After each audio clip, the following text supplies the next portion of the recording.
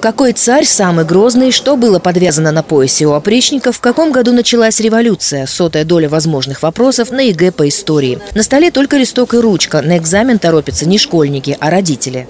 Не разрешается использовать при записи ответа на задание с кратким ответом никаких иных символов, кроме символов кириллицы, латиницы, арабских цифр, запятой и знака дефис. Александр Ковалевский – многодетный отец. Старший ребенок учится в девятом классе. Отправляя на экзамен, пощекотать нервы придется не раз. Решил сам пройти все испытания. Мне просто интересно посмотреть, что там ребенок будет испытывать, какие моменты, какие вопросы.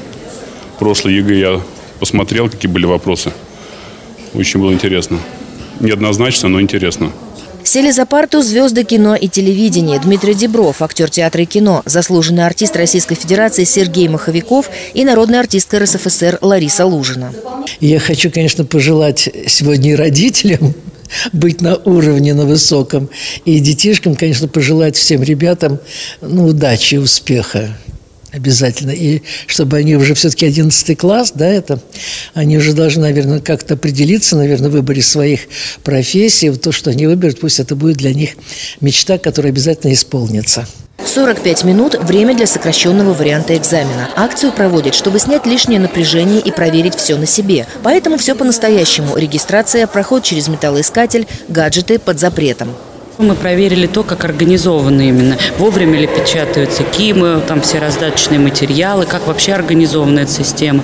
А, все абсолютно правильно и грамотно. Родители не знали, что такое единый государственный экзамен, форма его проведения. А так, чтобы пройти от и до, и сесть написать, и заполнить эти контрольно-измерительные материалы, и увидеть самими глазами. И когда они в семью придут, побеседуют с ребенком, убедят всех своих родственников, что ничего страшного нет, и обязательно они сдадут этот экзамен, вот для этого все и делается. Акцию проводят четвертый раз. В этом году она посвящена 75-летию Великой Победы. Экзамен по истории позади. Более 30 родителей теперь спокойнее отнесутся к ЕГЭ.